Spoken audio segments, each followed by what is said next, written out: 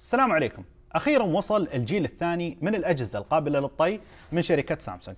طبعا معروف دائما أن الجيل الثاني يكون أكثر جيل مهم لأن فيه تصليح المشاكل المتوقعة اللي تطلع بالأجيال الأولى من جميع الأجهزة خصوصا اللي يكون فيها ابتكار. طبعا مباشرة لاحظنا بعض التغييرات على تصميم الجهاز. عندنا لاحظنا أن الحواف صارت أنحف وحادة أكثر والجهاز بشكل عام صار أثقل من قبل ولو بشكل طفيف بحيث وزنه الآن 282 جرام مقارنة ب 263 جرام سابقا. طبعا بمجرد ما مسكنا الفولد حسينا الفرق بجودة التصنيع. الجهاز فعلا تحس إنه صلب وفخم بكل معنى الكلمة. إذا تذكرون كان في مشكلة سابقة اللي هي تجمع الغبار في المفاصل حقت الجهاز. هذا هو المفصل الرئيسي. طبعا الآن سامسونج حلت المشكلة بأنها حطت نوع من القماش داخل بحيث إنه كل مرة تفتح وتقفل الشاشة يقوم هذا القماش ويمسح الغبار اللي متجمع. طبعا في شيء بالكاد بتلاحظونه اللي هو هنا في الطرف هذا والطرف هذا في بروز صغير جدا. إيش الهدف منه؟ عشان لما نقفل الجهاز الشاشات ما تلصق ببعض بشكل كامل. يصير في فراغ بسيط موجود بين الشاشتين لما يقفل الجهاز. وطبعا الآن التقفيل والفتح سلس جدا أكثر من الماضي. فالآن عملية بسيطة جدا وسهلة. نتكلم عن الشاشة اللي موجودة عندنا هنا. هذه الشاشة الرئيسية صارت أكبر من قبل. قبل كان حجمها 7.3 إنش الآن صارت 7.6 إنش. طبعا نوعها Dynamic AMOLED 2X ودقتها 2208 بكسل في 1768 بكسل. الزجاج المستخدم عندنا هنا في الشاشة نوعه Ultra Thin Glass واللي شفناه سابقا في جوال Galaxy Flip لكن الآن بتحسينات كثيرة على قوة التحمل حسب كلام سامسونج طبعا هذه هي الشاشة الرئيسية. ليش؟ لأن عندنا شاشة جانبية ثانية okay؟ لكنها شاشة أيضا كبيرة اللي هي هذه الشاشة الخارجية. بالنسبة لهذه الشاشة الخارجية الآن صارت أكبر وبفارق ملحوظ عن قبل بحيث صار حجمها 6.2 إنش مقارنة بقبل 4.6 إنش. طبعا نوعها Super AMOLED ودقتها HD Plus. طبعا هذه الشاشة الخارجية معدل التحديث حقها 60 هرتز بينما الشاشة الداخلية اللي كنا نستخدمها قبل شوي معدل التحديث حقها 120 هرتز. طبعا عندنا حاجة بالجوال اسمها Flex Mode راح يخليك تستخدمه بوضعيات مختلفة. مشابه لفكرة اللابتوب تقريبا واستغلال للشاشة الكبيرة. مثلا تطبيق اليوتيوب الآن أنا مشغل أحد الفيديوهات اللي استعرضنا فيها جهاز ال Note الأخير على إلكتروني. إيش بسوي؟ راح أحول على ال Flex Mode راح أكسر الشاشة كذا بالنص. إيش صار معي؟ صار يفتح لي الفيديو في الجزء العلوي والتعليقات في الجزء السفلي. كأن عندك لابتوب بس في شاشتين. طبعا كل تطبيق له أفكاره الخاصة وطريقة تطبيقه لوضعية ال Flex Mode. حاليا ما في تطبيقات كثيرة تستغل هذا الشيء لكن يوتيوب واحد منهم. طبعا الشاشة مثل ما عودتنا سامسونج وسلسلة ال AMOLED بشكل عام وهذه التقنية رائعة جدا. ألوان زاهية سطوع عالي درجات أسود ممتازة. هذه الأموليد كالعادة رائعة جدا. طبعا زي ما أنتم ملاحظين معي في الشاشة الآن الفاصل اللي في النص اللي عند المكان اللي يكون الكسرة بين الشاشتين مو مبين ابدا ما تشوفونه حاليا. لكن متى يبين معنا؟ يبين معنا إذا كانت الشاشة سوداء في الغالب وعليها سطوع إضاءة. يعني مثلا هنا الخلفيه سوداء عندنا لو أكسر الجوال شوي بتشوفونها معي تشوفون آثارها طلعت. طبعا هذا الشيء ما راح يضايق المستخدم. أنا شخصيا أشوفه ما يضايق لأن في أغلب الوقت ما راح تلاحظها وما راح تبين معك كثير إلا في ظروف معينة زي ما قلت لما يكون في إضاءة انعكاس زي ما إحنا الحين في الاستوديو هنا عندنا إضاءة قوية ويبغانا ناخذ زاوية معينة عشان نشوف إيش؟ الكسرة هذه أو الفاصل يبين معنا. بتكلم عن بعض الخصائص في الجوال. طبعا الصوت في الجوال ستيريو سواء قاعد تتفرج على الفيديو في الوضعية هذه أو في وضعية الشاشة الخارجية. ما تفرق الصوت دائما بيكون ستيريو ويستخدم تقنية دولبي أتموس. من ناحية جودة الصوت وارتفاع مدى الصوت إحنا راضين جدا عن الجوال. إذا رحنا إلى الجانب وشفنا عندنا الزر هذا هذا زر التشغيل بنفس الوقت هو راح يشتغل كزر بصمة وهذه وسيلة الأمان الرئيسية الموجودة في الجوال. طبعا عطفا على سعر الجوال فعدم وجود مقاومة للماء والأغبرة شيء محبط، لكن بنفس الوقت نتفهم هذا الشيء لأن جوال فيه فواصل كثيرة وجوال قابل للطي. فممكن كان صعب جدا تقنيا تطبيق مقاومة ماء كاملة عليه. طبعا هذا الجوال متمكن جدا من ناحية المعالج وطبعا عشان الشاشة كبيرة بعض الألعاب تتخذ الشاشة الكاملة وقت اللعب هذه اللعبة عندنا اسفلت 9 وزي ما نقدر نشوف طلعة رائعة جدا على الشاشة الكبيرة، نتكلم عن معالج 865 من سناب دراجون مع دعم شبكات 5G، هذا الجوال يدعم 5G. طبعا هالمرة في كل أسواق العالم حتى السعودية راح يكون المعالج ب Snapdragon، سامسونج ما راح تستخدم معاه معالج ثاني. ذاكرة التخزين الداخلية هنا 256 جيجا بايت والذاكرة العشوائية 12 جيجا بايت ويدعم الهاتف شريحتين في نفس الوقت واحدة مدمجة من نوع eSIM والثانية من نوع نانو. الجهاز زي ما قلنا متمكن جدا سلس جدا في الأداء العتاد فيه رائع.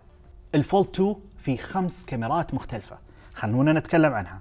طبعا الأساسية عندنا اللي موجودة في الخلف هنا عندنا ثلاث كاميرات وكلها 12 ميجا بكسل عدسة أساسية عدسة واسعة جدا وعدسة telephoto الكاميرات الأمامية عندنا ثنتين واحدة موجودة كثقب في الشاشة هنا وأيضا عندنا واحدة في الشاشة الثانوية أو الشاشة الخارجية موجودة في الأعلى هنا بحيث تقدر تصور سيلفي حتى لو ما فتحت الجهاز.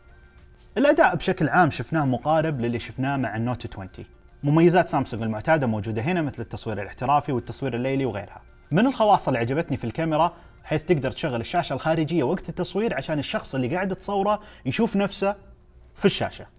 وفي ميزة جديدة إن لما تفتح الكاميرا شاشة بتعرض لنا تصوير الكاميرا الحالي والشاشة الثانية بتعرض آخر صورة تم تصويرها. لكن احبطنا إن الكاميرات ما تقدم لنا بعض التقنيات اللي شفناها في جوالات سامسونج الرئيسية زي ال Space Zoom للتقريب أو عدسة بدقة 108 ميجا بكسل خصوصا اننا دافعين هذا المبلغ في الجوال.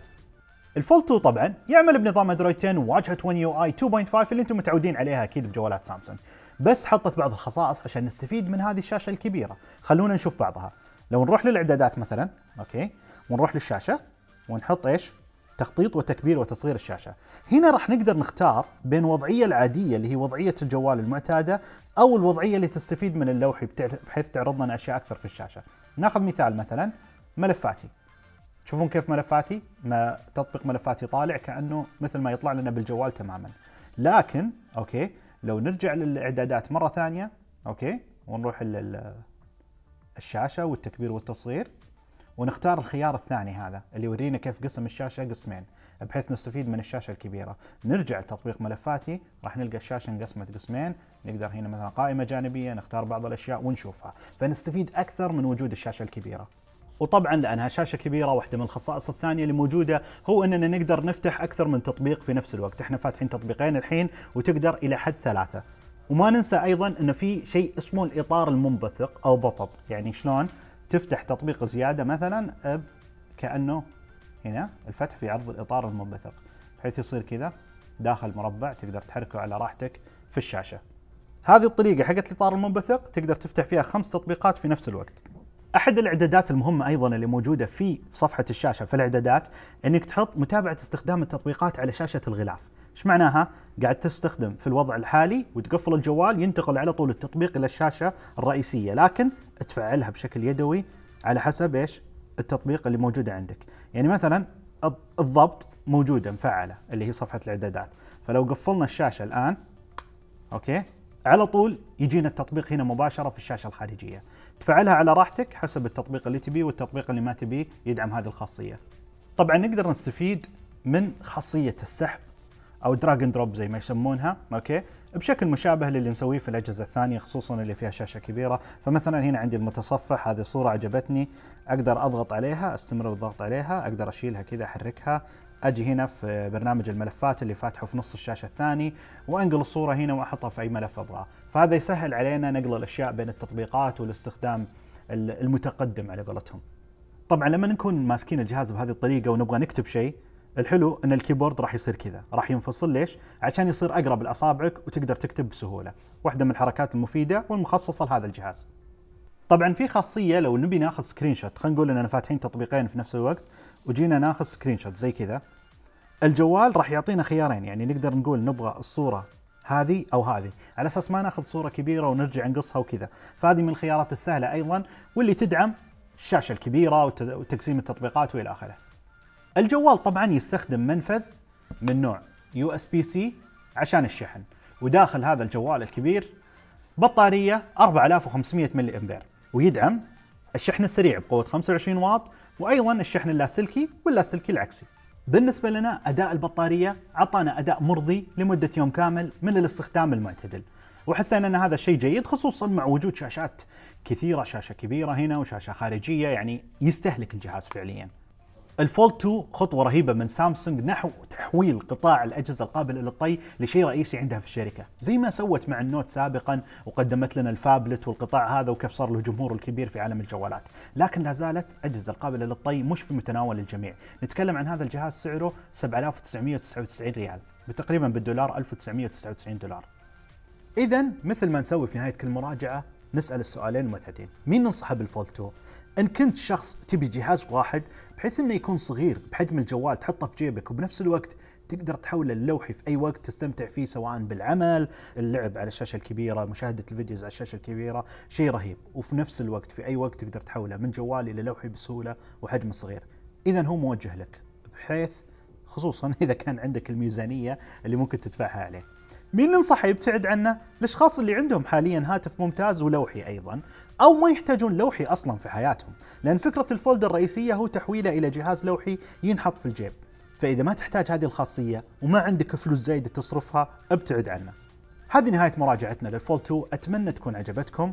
كذا تقريبا غطينا أغلب العيوب أو الأشياء اللي ما عجبتنا واللي عجبتنا في الجوال في هذه المراجعه، يمكن نقطة صغيرة يمكن نسيت أقولها اللي هي البصمات. زي ما تشوفون من الإضاءة، الجهاز شاشته الداخلية تجمع البصمات بشكل كبير، وحتى الشاشة الخارجية تجمع البصمات، فإذا ما كنت تحب هذا الشيء كان لازم أنوه عنه قبل ما نختم، يعطيكم العافية على المتابعة، في أمان الرحمن يا أحلى جمهور.